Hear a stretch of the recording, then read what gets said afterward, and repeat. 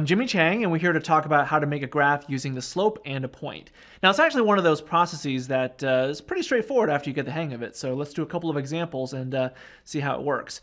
Now, one of the things you want to think about is the slope, which is the letter m, is rise over run. Now, if you get that definition down, it'll really become easy for you when it comes to graphing lines using slopes and a point. So here's an illustration.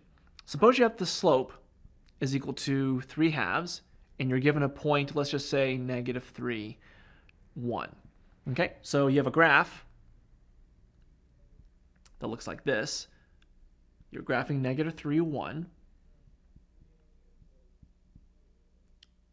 Now, the slope is 3 over 2. So what that means here is, because it's rise over run, that means you're going to rise 3 and you're going to run 2. So rise of 3 means you're going up 3, and a run of 2 means you're going to the right two places. So from the point that you just graphed, you're literally going to follow the directions. You're going to go up 3, and then you're going to go over 2. And then once you have that, you're just going to graph the line like so.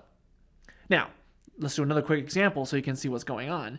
Now, suppose you have, let's just say the slope was negative 2, and you're given a point, let's just say 0, negative 3.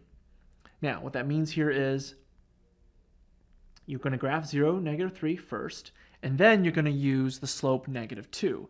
Now, negative 2 anytime you have a slope, if it's a whole number, you actually want to write it as a fraction because you want to take advantage of the rise over run relationship. So we're going to take the negative 2, I'm going to rewrite it as negative 2 over 1.